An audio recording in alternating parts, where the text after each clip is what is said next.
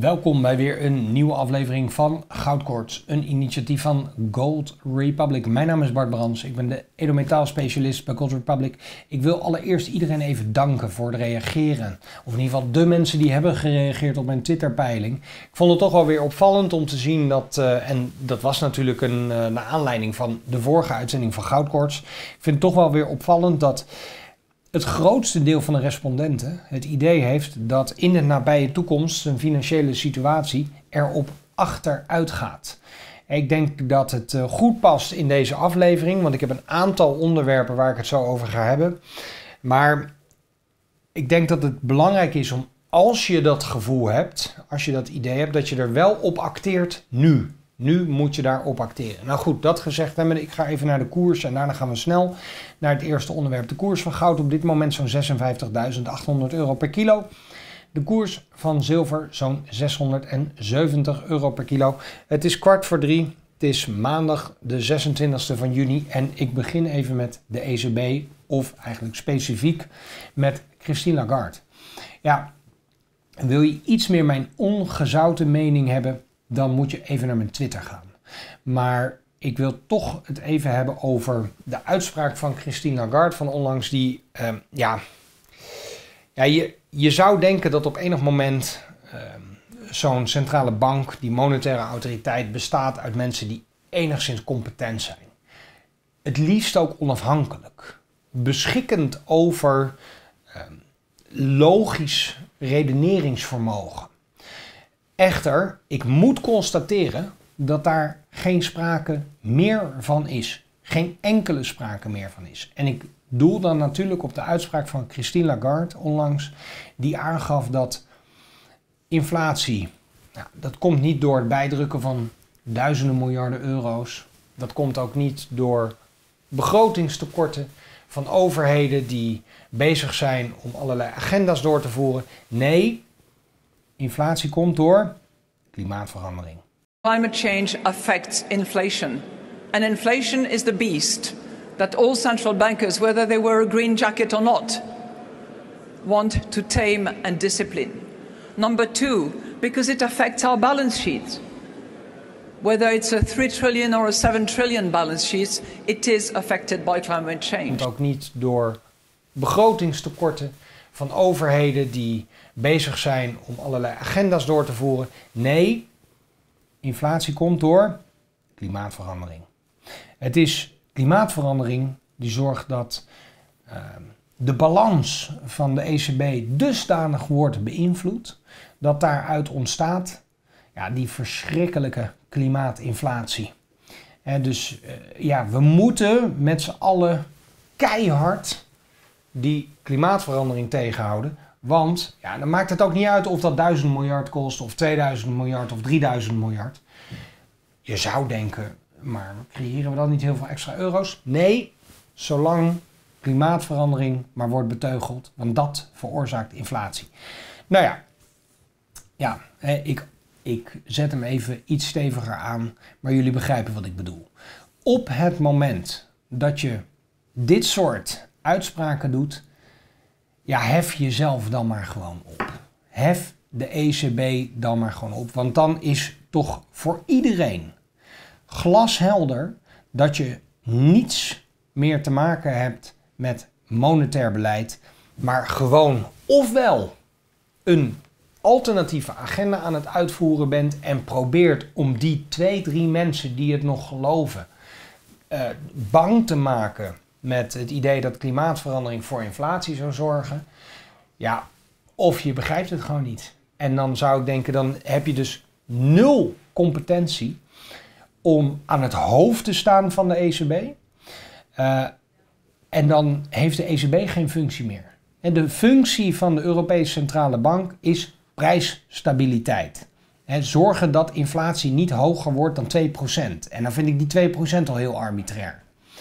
Op het moment dat je daar nu allerlei ideologische beleidsdoelen aan gaat koppelen, niet alleen dat, dreigt dat uh, het niet komt door jezelf, maar door klimaatverandering dat de inflatie oploopt, ja, dan ben je echt ook de knip voor de neus niet waard natuurlijk. En dan, heb je, dan ga je volledig voorbij aan, aan het idee dat mensen jou nog serieus moeten nemen. Dus ik kan dat ook niet meer. Ik kan de ECB niet serieus meer nemen op het moment dat ze dit soort dingen roepen. Dus ik zou dan zeggen, ECB, hef jezelf op. We regelen het wel weer op nationaal niveau. Uh, want ja, je, het, ik, kan, ik kan je op geen, kan je geen seconde meer serieus nemen. Nou, goed. Dat gezegd hebbende, um, ja, Augustine Karsten, uh, de president van de Bank of International Settlements, ja, die heeft, uh, die heeft ook wat gezegd. Die heeft namelijk aangegeven dat inflatie zich aan het ingraven is en dat om die inflatie te beteugelen, centrale banken juist nu voor een enorme uitdaging komen te staan. Nou, allereerst met datgene wat centrale banken aan het doen zijn, snap ik dat. Ze hebben geen idee waar ze mee bezig zijn. Hè? En ik, ik denk dat, dat ik het zomaar uit kan leggen. Als je euro's bijdrukt, dan krijg je inflatie, namelijk meer euro's. En wat gebeurt er met als je meer euro's creëert? Dan krijg je altijd prijsinflatie. Hogere prijzen, meer euro's voor hetzelfde product. Nou, wat zegt Karsten? Die zegt, ja, die inflatie graaft zich in. Logisch, nogal wie dus. En ik heb het hier al een aantal keren uitgelegd, jaren geleden al, maar ik ga het toch nog een keer herhalen. Want wat gebeurt er op het moment dat je duizenden miljarden euro's, dollars of wat voor valuta dan ook bijdrukt? Nou, er zijn een aantal mensen die zitten heel dicht bij die financiers. En die komen daar heel snel aan. Dan kun je denken aan de BlackRocks van deze wereld. Die kunnen tegen bijna nul rente, zeker als de rente nul is en in Europa zelfs negatief, die kunnen tegen nul rente kunnen zij een miljard lenen. En wat doen ze dan met die miljard? Ja, die gaan ze investeren. Daar gaan ze allemaal spulletjes mee kopen. Aandelen, vastgoed, dure klokjes, auto's, noem het allemaal maar op. En dan loopt van die spulletjes de prijs op. Ja, dat is ook logisch. Hè? Als jij onbeperkt geld kunt lenen tegen bijna 0% rente, dan kun je allemaal spulletjes kopen en dan loopt daarvan de prijs op.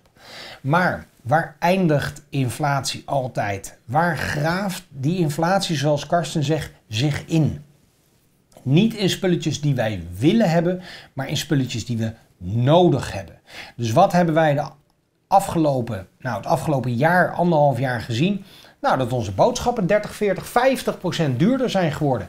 Ook logisch. En die valuta die moet ergens naartoe. En die eindigt altijd, valuta, uh, inflatie eindigt altijd in spulletjes die we nodig hebben. Niet die we willen hebben.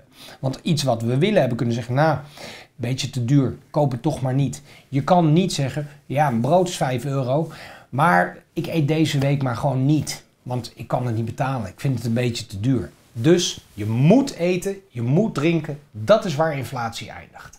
Ja, en dus trapt hier de president van de BIS een open deur eventjes in. Nou ja, goed. Ik, ik vind het dus ook een beetje uh, een uitdaging. Nogal wie dus. Blijkbaar kunnen die centrale bankiers, die hebben echt nul competentie of een alternatieve agenda, hè, zeg ik erbij.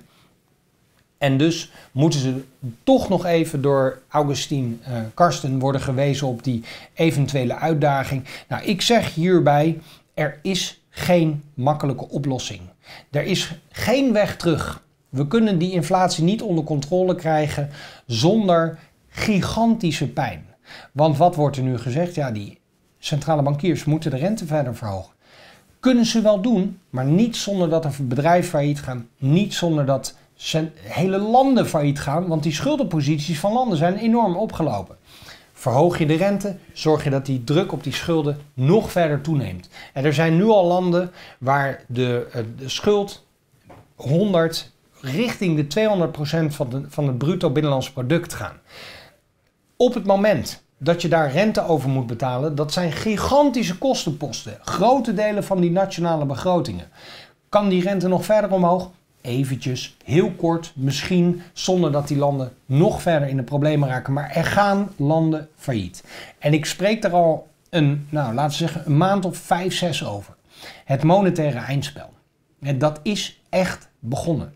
Want je kunt de rente dus niet lang verhogen om die inflatie onder controle te krijgen. Wat zou de vlucht naar voren zijn? Op enig moment zeggen, ja, we kunnen het niet aan.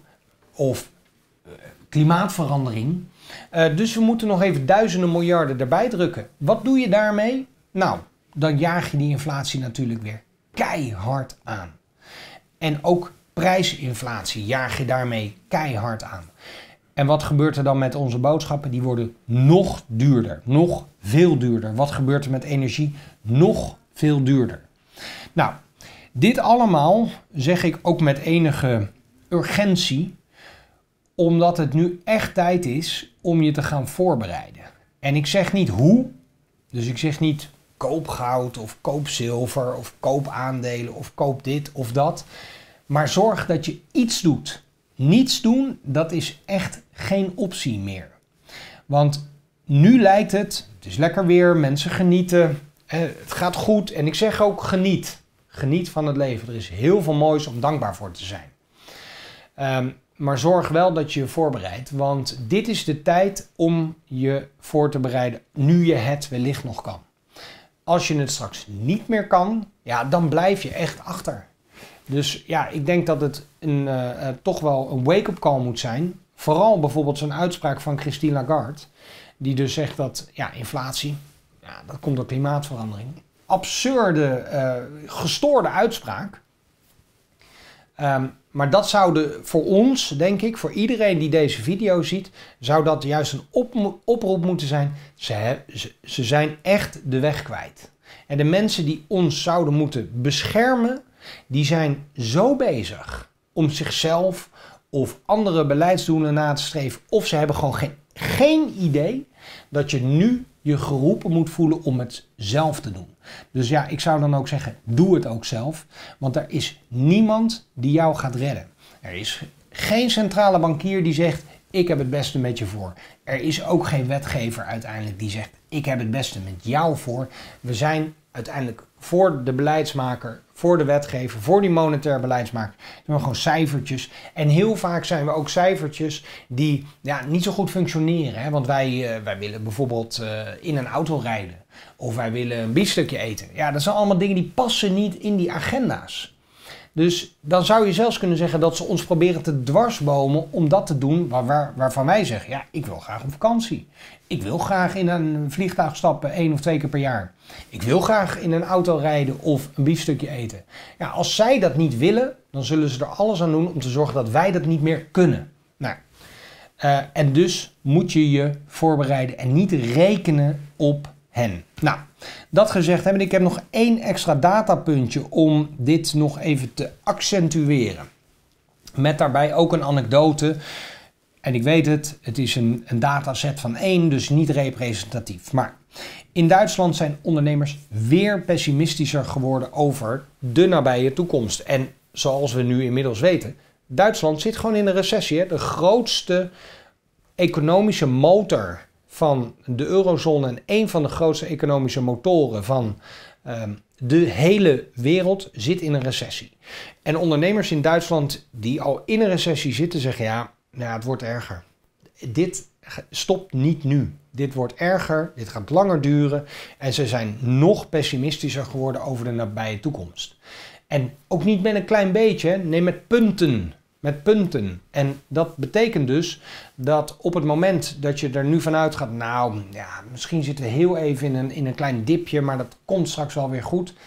Komt niet goed. Gaat niet zo even weer, dat draait niet als een, als uh, uh, zomaar eventjes om. Dat is een olietanker die waarschijnlijk nog heel lang vooruit gaat en dan misschien over een paar jaar een paar graden gedraaid kan zijn.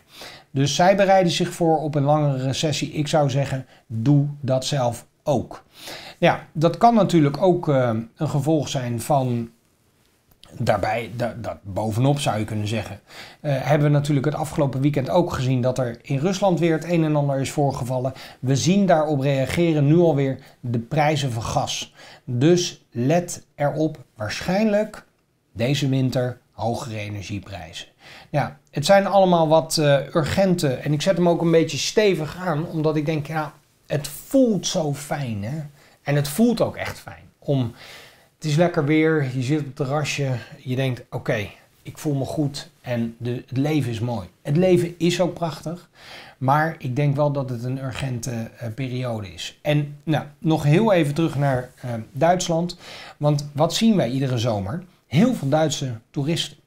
En nogmaals, het is een dataset van één. Maar anekdotisch, ik woon in Den Haag, in de buurt van het strand. Ik ga wel eens naar het strand en ik dacht afgelopen zondag, dat was de 25e, ik ga even naar het strand, super lekker weer.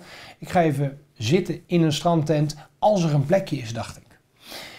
Want twee, drie zomers geleden, als ik daar uh, naartoe liep, dan uh, kon ik een uur in de rij staan voor een drankje.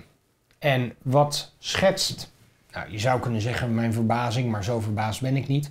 Ik kon gewoon op een bankje gaan zitten in de schaduw onder een parasol. Normaal gesproken, ik denk dat iedereen die wel eens naar het strand gaat, is dat prime real estate.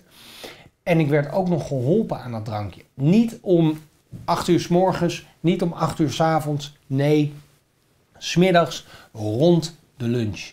Ja, dat is anekdotisch. Het is een dataset van één, maar het past wel in een, uh, in een situatie die ik schets over niet alleen maar bijvoorbeeld Duitsland. Nederland mag normaal gesproken altijd heel veel Duitse toeristen verwelkomen. Waar zijn ze? Nou ja, niet in de strandtent waar ik twee jaar geleden een uur moest wachten of een uur in de rij moest staan voor een drankje. Daar zijn ze niet. Um, uh, ik zie ze ook nergens. Dus in ieder geval een stuk minder dan in het verleden.